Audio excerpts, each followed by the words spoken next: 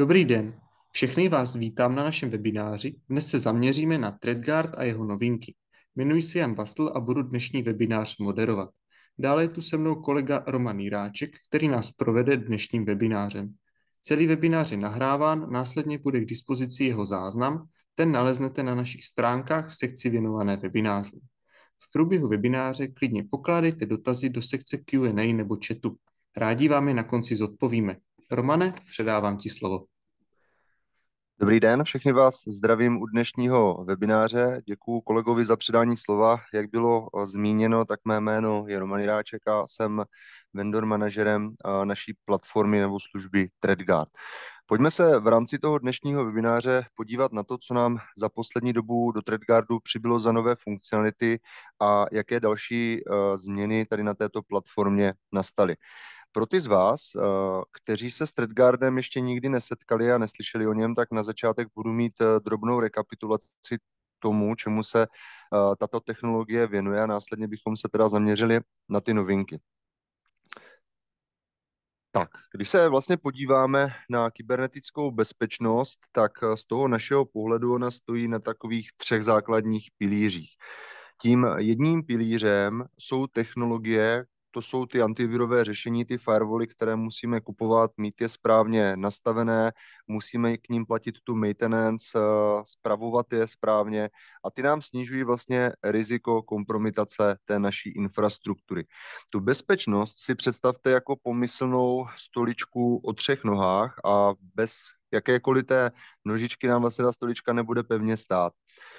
Tím druhým pilířem, na kterém ta bezpečnost stojí a který je z našeho pohledu asi nejrizikovější, jsou ti uživatelé, které musím správně edukovat, učit jak se správně chovat na počítači, na internetu, kam přistupovat, kam ne.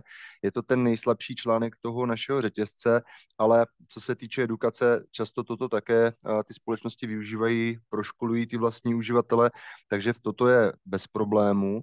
Ale tím třetím pilířem, o kterém se my bavíme, tak jsou informace. A ty jsou z našeho pohledu uh, tato, tento pilíř je často podceňován a ti zákazníci se mu nevěnují nebo případně neví, kde ty správné informace čerpat. Bavíme se o informacích, které se týkají kybernetické bezpečnosti, takže informace o novém malwareu, ransomwareu, dos útocích, případně nějakých zranitelnostech operačních systémů. A tento pilíř, jak jsem říkal, většina těch zákazníků neřeší nebo neví, kde ty informace má čerpat. Z tohoto důvodu my jsme přišli v roce 2017 s platformou ThreadGuard, kdy z toho našeho pohledu jsou vlastně informace jednou z nejvzácnějších komodit v biznisu a když ty informace máme dostatek dopředu, víme o tom, že existuje nějaká zranitelnost na úrovni nějakého aktiva jeho operačního systému, které je možné kompromitovat, tak existuje k ní nějaký exploit, tak pokud já včas vím tuto informaci, jsem schopen aplikovat nějaká nápravná opatření, můžu předejít tomu kybernetickému útoku. O tom vlastně ten ThreadGuard je a já jsem si tady vybral nějaké kritické hrozby, který ten náš ThreadGuardí tým zaznamenal teď za srpen. Jde o to, že v rámci té platformy si vlastně kupujete ten tým analytiků, který zpracovává ty hrozby za vás. Tak jsme se zaměřili na pět takových top hrozeb, které se objevily v tom uh, předchozím měsíci, kdy tady máme nějaké zranitelnosti na Sonic Wallu, na Veeam Backupu a další. A co tady na tom chci ukázat?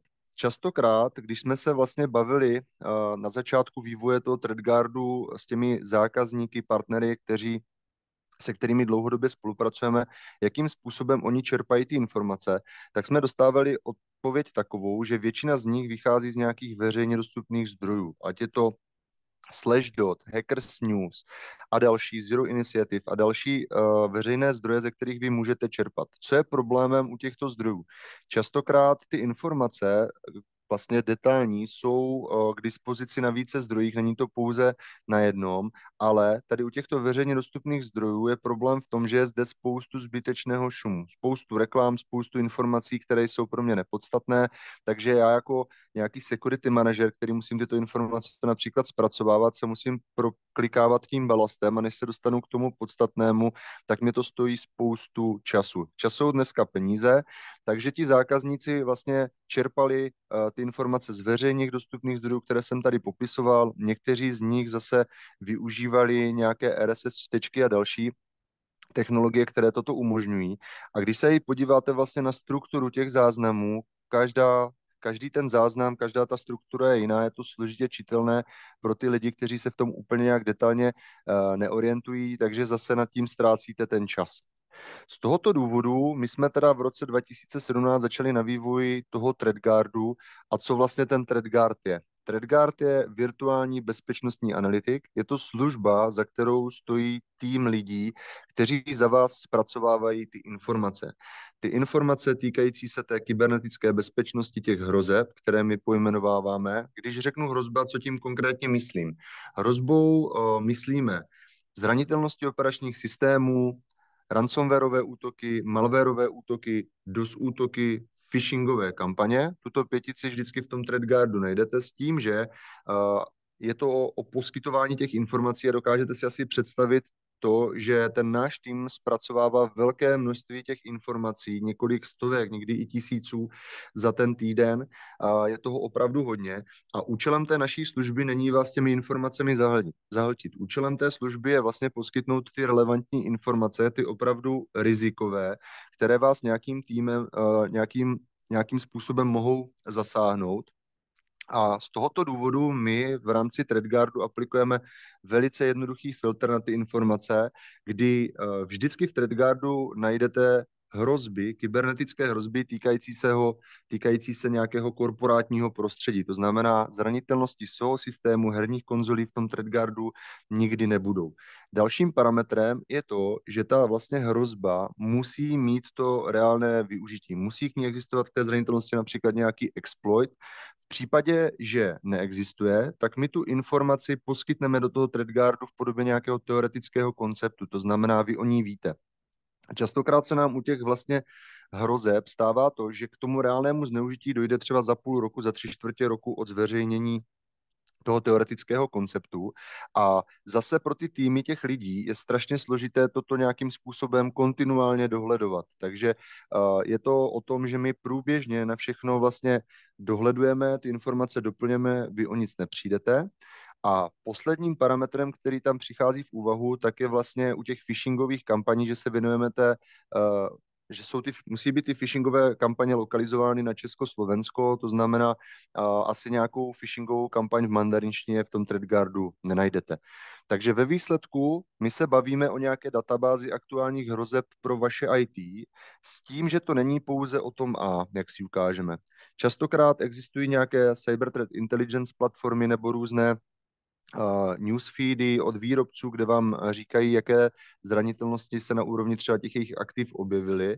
A zase někdy ty věci vy musíte dohledávat ty opatření na nějakých dalších zdrojích. My v rámci ThreadGuardu poskytujeme jak to A, to znamená to, jak se ta hrozba propaguje, tak v rámci té naší platformy, ale máme k tomu i to B, to znamená, vždycky tam naleznete ty nápravná opatření, to, jakým způsobem se vůči té dané kybernetické hrozbě máte bránit. Je tam workaround, u technologií, které my známe, máme v portfoliu jako distributor, tak jsou tam vždy i nějaké konfigurace a podobně, takže to je zase potom ta přidaná hodnota u těch technologií, těch technologií, které my velice dobře známe. Toto se nám osvědčilo v rámci třeba WannaCry útoků, které tady byly několik let zpátky, kdy my jsme vlastně věděli, že existuje nějaká zranitelnost na Windows platformě. To její reálné zneužití se objevilo až po nějaké době a my u těch zákazníků, kteří například dříve se ta společnost nazývala McAfee, dneska je to Trellix, měli e-policy orchestrátor nebo antivirové řešení, tak jsme udělali konfiguraci, která tady tyto zákazníky chránila vůči těm WannaCry útokům. Takže se nám nám vlastně osvědčilo to, že to, co děláme, to, co jsme schopni poskytnout v rámci těch nápravných opatření, opravdu ty zákazníky chrání. Takže se bavíme o tom, že poskytujeme i to B, jsme schopni vás prostřednictvím této platformy chránit. Samozřejmě, každá ta infrastruktura u toho zákazníka je různorodá a proto máme možnost v rámci té naší databáze ThreadGuardu filtrovat podle aktiv, které já mám k dispozici, k dispozici v té vlastní infrastruktuře. To znamená, pokud mám například asset, mám Fort, firewall od Fortinetu, mám Windowsy technologie, počítače, servery a tak dále, jsem schopen si vytvořit aktivní filtr, který mi přizpůsobí tu databázi vůči tomu mému filtru, takže já vidím pouze ty informace, které se týkají té mé infrastruktury. Tím pádem já odfiltruji ten zbytečný šum o těch informacích, které mě úplně nezajímají a následně následně vlastně potom mám všechny ty informace takto k dispozici a jsem schopen se věnovat pouze tomu, co mě zajímá.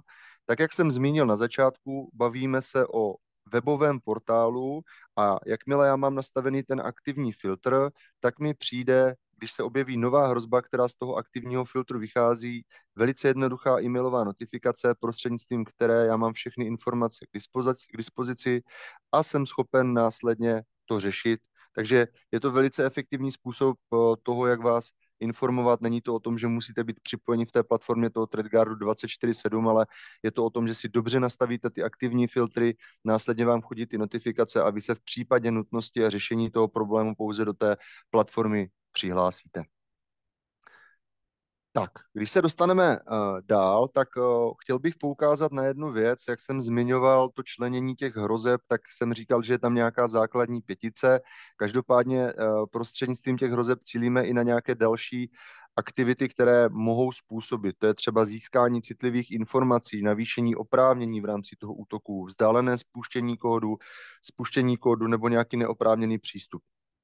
Tady na tom slajdu bych chtěl jenom poukázat, že vlastně, když se podíváme na celou CVE databázi, kterou vy také naleznete v tom ThreadGuardu, je to jedna z těch funkcionalit, tak vidíte, že měsíčně se bavíme o několika tisících informací, zranitelnostech, které se objevují a ty týmy by je museli Eh, zpracovávat. Na druhou stranu vedle toho máte potom možnost vidět díky tomu našemu filtru, kolik těch hrozeb se v rámci té platformy objeví, díky těm vlastně věcem, jako je ta kritičnost, kdy nás zajímají ty hrozby dle toho CVSS score od sedmi nahoru, uh, jsou tam potom aplikovány ty další parametry v rámci toho filtru, které jsem popisoval, tak vidíme, že za ten měsíc je to několik desítek hrozeb, které jsou pro ty organizace relevantní a musí je vlastně řešit. Takže pomůžeme vám od filtru filtrovat takové ty neúplně relevantní hrozby, které se vás mohou týkat. Jak jsem říkal, jedná se o stále dostupnou aktuální strukturovanou databázi hrozeb a opatření, tak to vypadá ten úvodní dashboard. My si v rámci toho dnešního webináře uděláme i živou ukázku přímo z té platformy, takže se podíváme na ty nové věci, které nám tam, nám tam přibyly, neuvidíme pouze na slidech, ale i živě.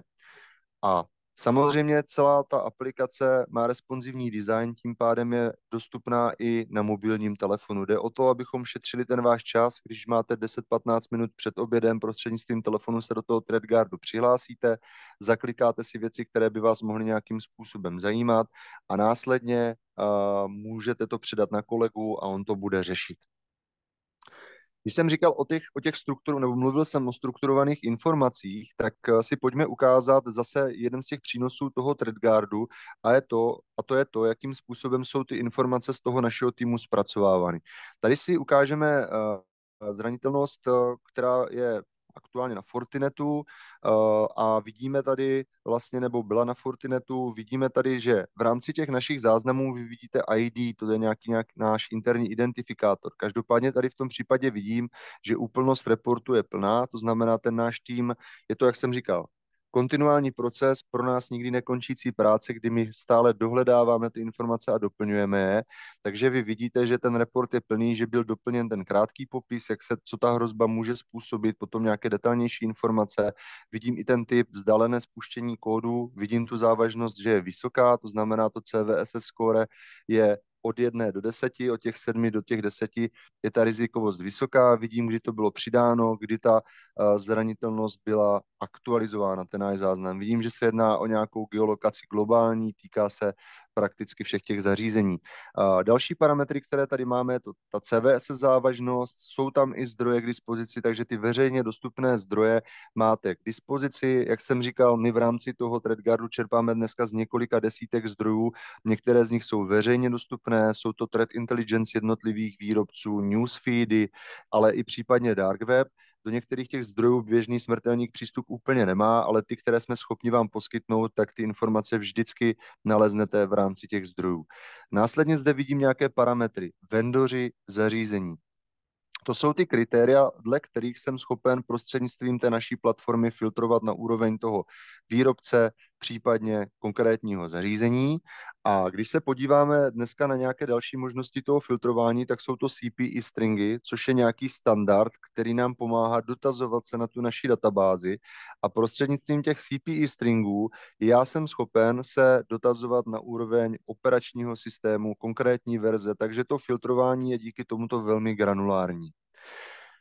Jak jsem zmiňoval, součástí toho našeho záznamu jsou vždy i ty nápravné opatření, to znamená to B, které mi pomáhá ty, ten daný problém řešit. Tady vidíme, že máme nějakou jednoduchou nápravu, v případě, že se objevují nějaké uh, vlastně aktualizace, tak ten patch vždycky naleznete ten odkaz v rámci té nápravy a tady si ukážeme tu přidanou hodnotu v rámci těch zákazníků, kteří například využívají Trellix IPS. Tak pro, tuto, pro toto zařízení my jsme si připravili velice detailní nápravu, kterou eh, její popis a aplikaci velice dobře najdete v rámci toho popisu. Máte všechno k dispozici na jednom místě a jsou zde i přílohy. Ty přílohy jsou konfigurace do e-policy orchestrátoru, do toho centrálního managementu uh, té platformy Trelixu. Vidíte, že ta struktura těch nápravných opatření je velice podobná těm hrozbám. Mám tady nějakou ověřenost. Ověřenost znamená to, že my všechno otestujeme předtím, než tam ty nápravné opatření aplikujeme. Jsme schopni to otestovat v rámci našeho kompetenčního centra, což je datacentrum, které máme tady v Brně. A předtím, než eh, ty nápravné opatření uvedeme tady, tak jsme, chceme si být stoprocentně jistí, že pokud to ten zákazník aplikuje, tak je chráněn. Takže je k tomu vždy i to B.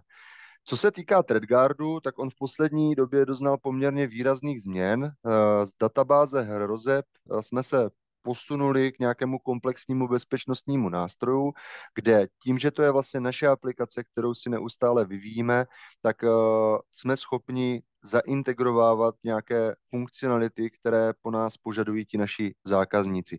Tady je nějaký krátký výčet těch, které jsou z mého pohledu stěžejní.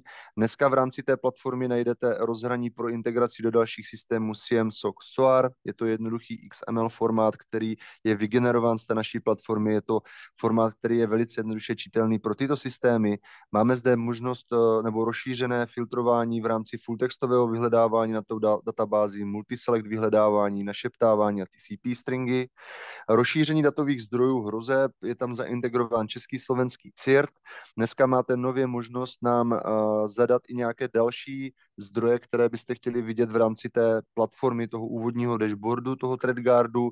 Máme zde i HTML notifikaci, zrcadlí se tam kompletně celý CVE katalog, v angličtině, protože byl to jeden z požadavků našich zákazníků, kdy chtěli zaintegrovat celý, celou CVE databázi. Je zde integrace s Trellix ATD, jak jsem říkal dříve, to bylo vlastně McAfee, a kde máte možnost prostřednictvím toho našeho Trellixu si otestovat, nebo prostřednictvím Trellixiho ATD sandboxu otestovat si neznámé soubory, dělat dynamickou analýzu stránky a podobně. Je zde integrován i Whalebone, to znamená, máte možnost prostřednictvím toho ThreadGuardu si zjistit eh, reputaci konkrétní domény, která je pro vás nějakým způsobem neznámá a novinkou v rámci ThreadGuardu je Threat Manager, díky kterému my máme dneska možnost mít jednotný, jednotný pohled na hrozby týmu. Ukážeme si to potom v rámci té mé živé ukázky. Na tu poslední čtveřici se zaměříme, tu si ukážeme v rámci té naší živé ukázky, jak to rozhraní vypadá, jaké informace poskytuje. A já teď se na chviličku odmlčím a nazdílím vám svůj prohlížeč, ve kterém se můžeme, za, můžeme se podívat konkrétně na ty funkcionality v rámci toho portálu. Tak, Měli byste teď vidět eh, ten můj prohlížeč, tak to vypadá vlastně dneska GUI Threadguardu. Eh, Threadguard je dostupný na doméně portal.threadguard.cz takže takto se dostanete do portálu, samozřejmě musíte sem mít přístup. Jak jsem říkal, nic se nikam složitě nenasazuje, je to velice jednoduchý proces, kdy vy nám pouze poskytnete e-mailovou adresu, následně my vám zpřístupníme celý ten portál. Na tom úvodním dashboardu já mám dneska možnost eh, vidět několik bloků. Eh, jsou zde i novinky. Novinky je komunikační vektor, prostřednictvím kterého my informujeme jednotlivé zákazníky o eh, nových funkcionalitách, případně každý měsíc posíláme top 5 hrozeb dle toho našeho Threadguardího týmu, to znamená Najdete tady informace týkající, nebo ty nejkritičtější hrozby, které vám třeba mohly uniknout z toho důvodu, že ty technologie přímo nevyužíváte, ale máte třeba v plánu některou z nich zakoupit, tak ať jste informováni o tom, eh, jaké zranitelnosti, jaké hrozby se jí konkrétně týkají. Blog se věnuje kybernetické bezpečnosti, je to integrace na, naše, eh, na náš web, kde rozebíráme tu kybernetickou bezpečnost, říkáme si tam, jaké jsou aktuální trendy a podobně, takže zase je to nějaký další komunikační vektor, skrze který jsme schopni vám předávat informace. Vidíme tady potom i nějakou tu CV databázi, statistiku toho, co se za ten daný měsíc objevilo. A co je pro nás velice důležité, tak je vybíráme pro vás. Na tom úvodním dashboardu toto je ta naše vlastně databáze ThreadGuardí, kterou zpracováváme my a ten náš tým. Takže toto jsou ty informace, které tam naleznete a na tom úvodním dashboardu se ještě setkáme právě s těmi externími zdroji, kde je aktuálně zaintegrovan český, slovenský CIRT, takže vlastně všechny informace mám na jednom místě, jednoduchým proklikem se dostáváte přímo na web CIRTu. Ten úvodní dashboard v současné chvíli máte možnost i upravovat, případně si tam vytáhnout nějaké funkcionality, které jsou pro vás zajímavé. Nechcete tam mít například tu CVI databázi, ale chtěli byste si tam vytáhnout uh, přímo nějaké hrozby, které máte už vyfiltrovány, abyste se nemuseli složitě proklikávat, takže si můžete vytáhnout uh, tyto informace přímo na ten úvodní dashboard tím uložením, takže já ho můžu potom libovolně nějakým způsobem upravovat. Když půjdeme dál v rámci toho našeho menu, tak uh, přehled hrozeb, ten nám poskytuje vlastně informace o všech těch zranitelnostech, které v tom té ThreadGuard databázi jsou. Dneska se bavíme o nějakém, o nějakých, je tam 2495 položek, takže skoro 2,5 tisíce. A když se podíváme teda na tu strukturu, kterou já jsem ukazoval v rámci té naší prezentace, tak ty informace, které my vlastně v tom ThreadGuardu poskytujeme, tak potom vypadají následovně. Jo? Máme zde, vždycky to ID, jsou tam ty uh, typy toho, co ta hrozba umožňuje, ta závažnost, vidím, kdy to bylo přidáno, kdy to bylo aktualizováno, jedná se o nějakou best effort službu, službu. tím pádem my se snažíme všechny ty informace poskytnout do nějakých tří hodin tady v tomto rozsahu od toho, co je evidujeme. Máme vždy zde vždycky ten krátký popis toho, uh, co ta hrozba může způsobit, následně ten detailní, jak se dále propaguje a jsou tady právě ty nápravné opatření kde mám zde přímo odkazy na aplikaci nějakých pečů, případně jsou tady potom i opatření, workaroundy, které zpracovává ten náš tým a pomáhají vám chránit tu vaši infrastrukturu. Všechny ty hrozby si můžete exportovat do PDF, to znamená, pokud bych měl uh, nějakého kolegu, který se tomu věnuje, neměl přístup do ThreadGuardu, vyexportuju si PDF soubor, pošlu mu to, on je schopen to potom efektivně řešit. Všechny ty hrozby si můžu označit jako dokončené nebo přidat do záložek toto umožňuje spravovat nějakou historii té vaší práce, protože jak jsem říkal, pokud mám třeba 10-15 minut před obědem, jsem na telefonu a objevím něco, co bychom měli řešit, tak si to právě přidám do těch záložek, aby když se potom vrátím zpátky do kanceláře, tak si to najdu v rámci těch záložek a vím, že to musím řešit. Jakmile se to dořeší, označuji jako zelené, tím pádem je to vyřešeno, není potřeba se tomu dále věnovat. Teď se podíváme na to, jak vypadá ta CVI databáze. Ta naše CVI databáze vypadá následovně. Eh, jsou to všechny zranitelnosti, které se konkrétní den objeví, s tím, že já nad celou tou CVI databázi opět můžu filtrovat podle výrobců, zařízení, CVS score, štítku, vektoru toho útoku a my si jenom ukážeme, jak vypadá záznam dle té CVI databáze oproti tomu, co jsme měli možnost vidět u toho ThreadGuardu. U ThreadGuardu jsme měli možnost vidět detailně rozpracované informace, tady je pouze nějaké krátké schrnutí, eh, které některým z nás třeba úplně nic neřekne je potřeba k tomu dohledávat další informace, takže tady vidíme tu přidanou hodnotu té ThreadGuard databáze a navíc v případě, že by ta hrozba byla nějakým způsobem zpracována v rámci té ThreadGuard databáze, tak tady bychom my viděli potom jednoduchý odkaz proklikem bychom se dostali přímo do té ThreadGuard databáze. Dále máme možnost zpravovat ty naše filtry, kterých můžu mít libovolně mnoho.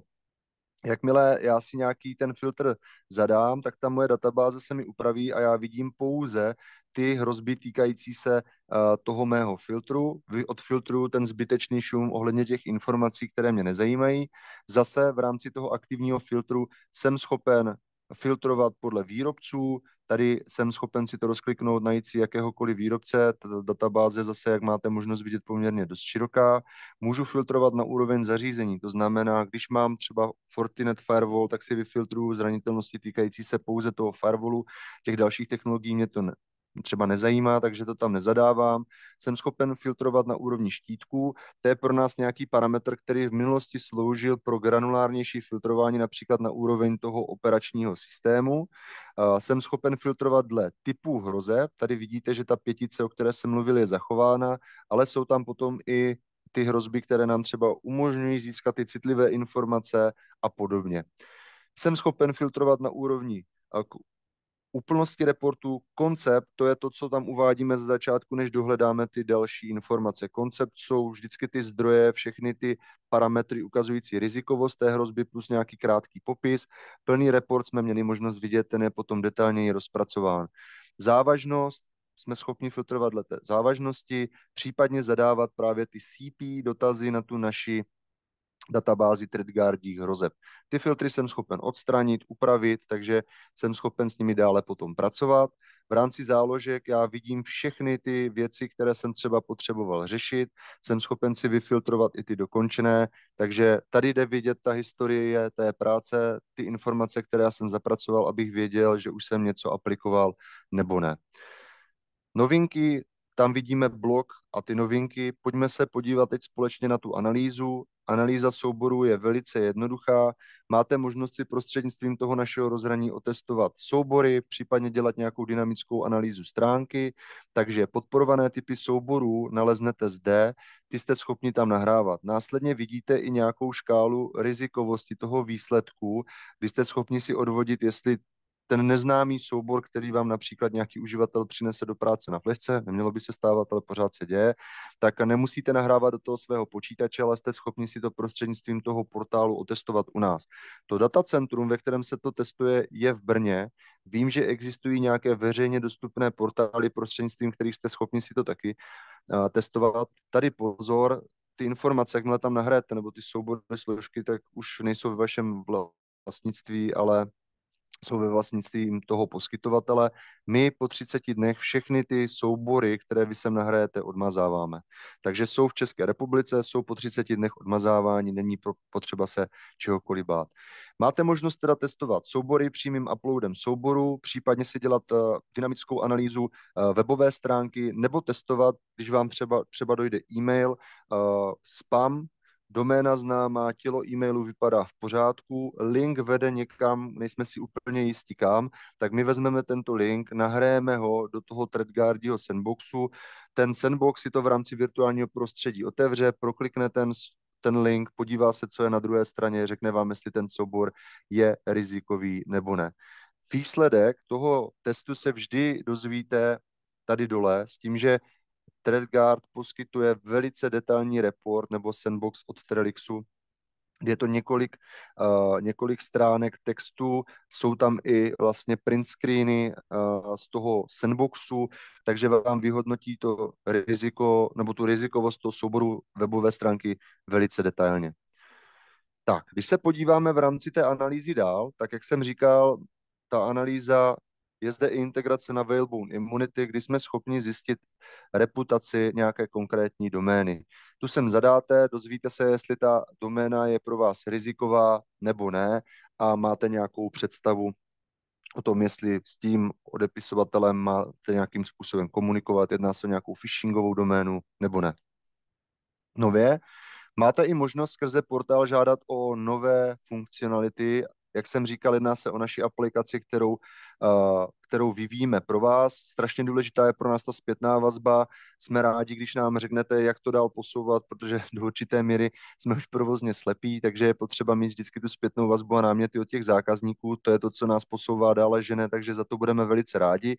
Máte možnost eh, o ty funkcionality žádat i zde, s tím, že se dozvíte potom případné potvrzení nebo zamítnutí té vaší žádosti, protože to zase potom hodnotíme v rámci toho týmu, jestli to pro tu platformu bude mít přínos a podobně.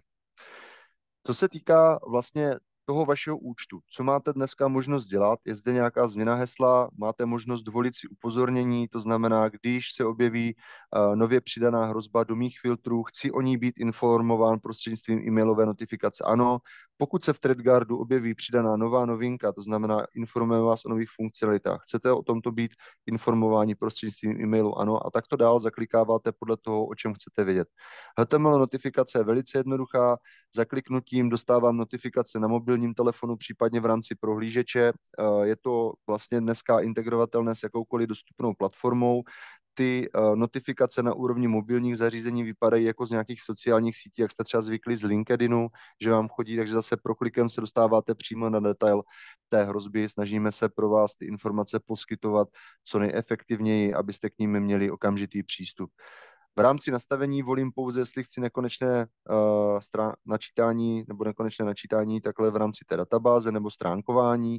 Nastavení společnosti, tady si potom můžu vydefinovat ty další externí zdroje, které bych chtěl mít integrovány na tom úvodním dashboardu a v rámci exportu já si volím právě, eh, co má být vyexportováno v rámci toho XML, které je potom integrovatelné do toho našeho soku nebo SIEMu. Ten záznam může být v češtině nebo v angličtině a ten export, to XML bývá každé dvě hodiny aktualizováno. Jak jsem říkal, my díky tomu filtru, který na ty zranitelnosti a hrozby, které vám ukazujeme v rámci té naší databáze, tak nám ta databáze, do té databáze nám denně přibývají dvě až tři ty hrozby, takže není jich úplně moc díky tomu filtru, který aplikujeme, ale jsou to opravdu ty rizikové, takže proto dvě hodiny, eh, každé dvě hodiny bývá i tento dokument aktualizován. Celá ta platforma má potom anglickou mutaci, to znamená, pokud jste zahraniční společnost nebo máte matku v zahraničí, potřebovali byste to v angličtině, není to problém. Máme zahraniční zákazníky, kteří tuto platformu využívají. Tak, já se teď v rámci té živé ukázky dostanu k té novince, o které jsme se bavili, a to je Threat Manager. Threat Manager je nová funkcionalita, která přibyla do ThreatGuardu v nedávné době, s tím, že nové, nový pohled vlastně na ty hrozby nám umožňuje uh, práci v tom týmu, protože historicky jsou ty filtry vázány vždy na toho konkrétního uživatele a setkali jsme se právě s námětem od zákazníků. My máme větší tým, máme třeba lidi, kteří se nám stají, starají o serverovou infrastrukturu, čistě o PC a tedy bezpečnost a potřebovali bychom udělat nějaký ucelený, jednotný pohled na všechny ty hrozby, které se tam dnes a denně objeví. Z tohoto důvodu my jsme vytvořili platformu Thread, Thread Manageru, která nám to umožňuje. A v rámci toho Thread Manageru vy si vytváříte projekty projekt je pro nás věc, která združuje právě ty členy v týmu k tomu danému projektu. Může to být pro představu z té organizace, která má více do poboček po republice, po světě, tak uh, každý ten projekt může být například ta jednotlivá pobočka, kterou se vy staráte. Nebo to může být ten váš zákazník, spravujete infrastrukturu více zákazníkům, každý projekt je jeden zákazník. Takže já si můžu v rámci toho threat manažeru vytvořit svůj projekt, to znamená, chtěl bych vědět, eh, nebo třeba mít k dispozici starost, eh, informace o Cisku a Fortinetu, můžu to tak mít, takže bych si vlastně vytvořil ten projekt, musím tady něco zadat, takže si popíšu popis toho projektu, je to projekt, který se, nebo náš tým se stará o tu uh, Cisco infrastrukturu, chceme mít informace na jednom místě, přiřadím si sem ty členy týmu, takže vybírám z kolegů, kteří jsou se mnou v tom týmu, kteří mi budou pomáhat uh, vlastně spravovat ty zranitelnosti, ty hrozby, které se tam objevují. Mám zde i definovaný nějaký rozsah. Jsou to režimy filtru. Statický filtr znamená to, že jak dnešnímu dní vytvářím ten projekt a on se potom už dále nebude aktualizovat o nové hrozby. Takže kdybych byl člen týmu, tak mi vlastně tento projekt říká, spravte, záplatujte všechny zranitelnosti a hrozby, které se objevily do toho dnešního dne. Dynamický filtr umožňuje to, že vlastně stále to stále se mi přidávají nové hrozby do toho mého projektu a já jsem následně schopen je odbavovat, takže bych řekl, že chci dynamický, dynamický projekt s tím, že chci, abych eh, se věnoval té infrastruktuře, například tomu Cisco a Fortinetu, takže si vezmu zde ten filtr, který já mám v tom svém uživatelském rozhraní. Kolega má například zpracovaný nějaký další filtr, on je tady potom vidět, takže si můžu říct, si definovat. Toto, toto jsou dva filtry, které chci sloučit, abychom je oba dva viděli, protože Cisco Fortinet filtr je spjatý s mým účtem jako Roman Jiráček a Cisco filtr je zpracován ze strany kolegy Jakuba Mazala. Takže já potom uvidím všechny informace na jednom místě. Jsem schopen zde i definovat nějaký termín, do kdy by to případně mělo být zpracováno, ale v tomto případě se jedná o projekt, který nám nikdy nebude končit a následně aktivuju ten projekt a odešlu notifikace na všechny členy týmu, to znamená ten kolega Jakub Mazal o tom bude vědět a bude se mnou pracovat v rámci toho rozhraní.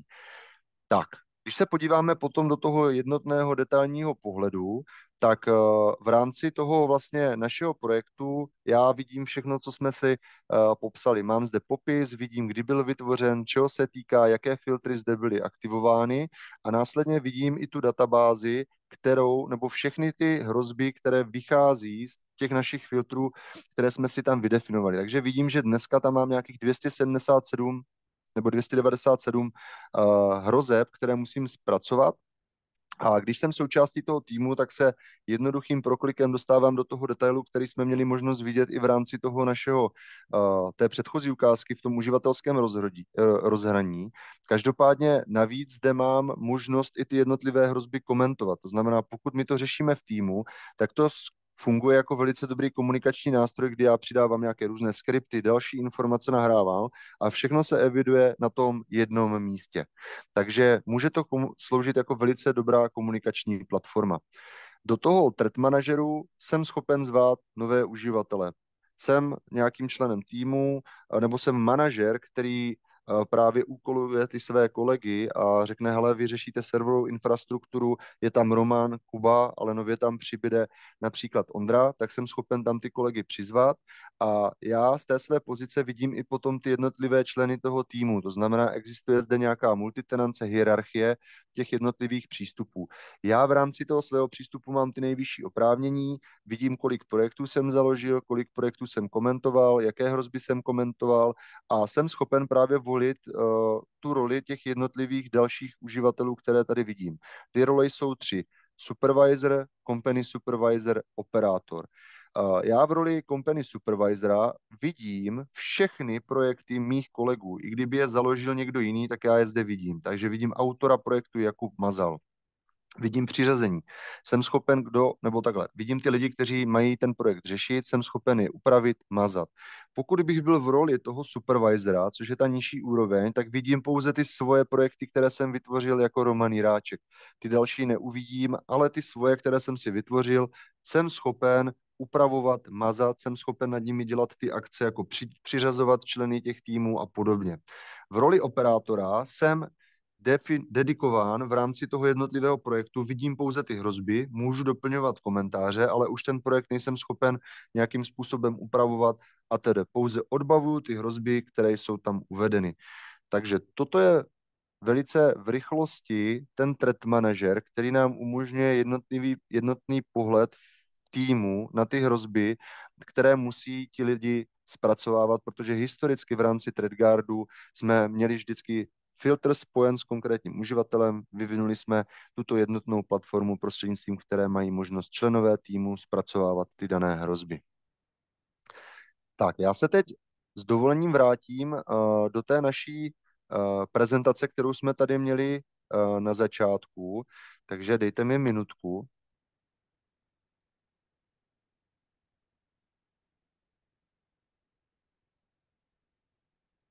Tak, měli bychom být zpátky v prezentaci a slíbil jsem, že si ukážeme uh, ty novinky, které jsou dále spjaty s ThreadGuardem. My jsme změnili licenční model, tím pádem jsou dneska dostupné tři varianty ThreadGuardu.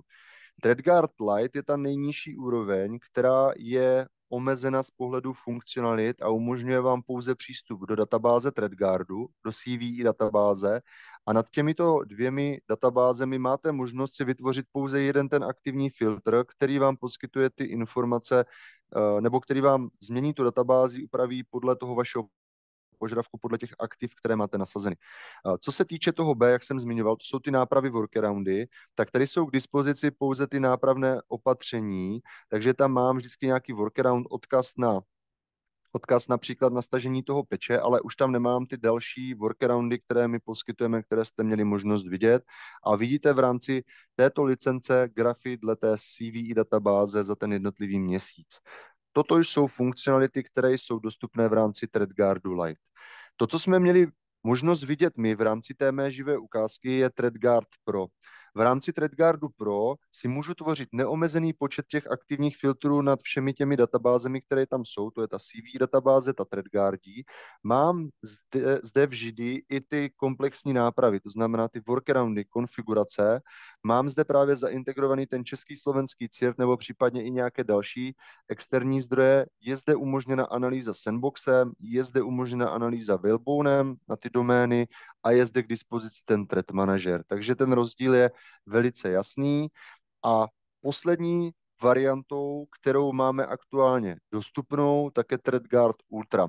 V rámci něj máme ještě navíc real-time chat, což je podpora toho našeho expertního týmu, že kdy vy máte možnost komunikovat přímo s tím, s tím týmem analytiků a můžete s nimi rozebírat víc do detailu třeba ty hrozby, které vás zajímají. Takže dneska jsou dostupné tyto tři licenční varianty. ThreadGuard Lite, zjednodušená verze, pouze přístupy do té databáze. ThreadGuard Pro je obohacen o analýzu sandboxem, Whalebone, Immunity je k dispozici a ThreadGuard Ultra je potom obohacen oproti ThreadGuardu Pro o real-time chat.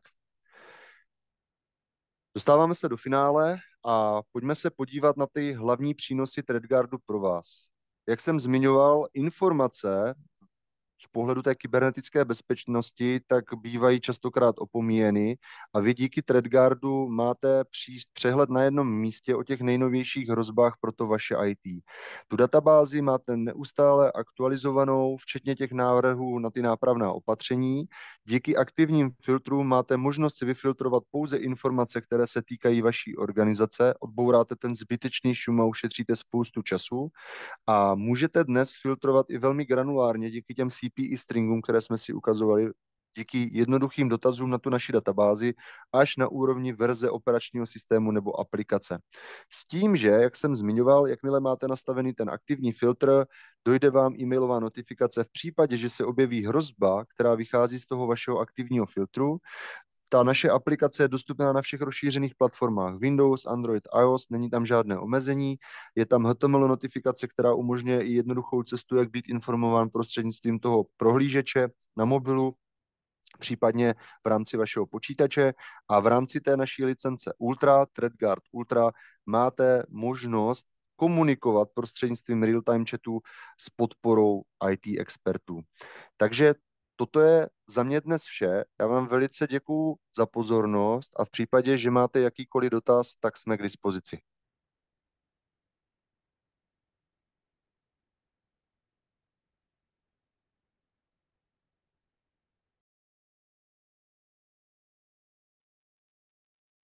Děkuji Romanovi za prezentaci. A pokud máte otázky, nyní je správný čas je napsat naším směrem do sekce Q&A nebo chatu. Pokud by vás otázky napadly až dodatečně, neváhejte se obrátit na naše autorizované partnery nebo na naše sales oddělení.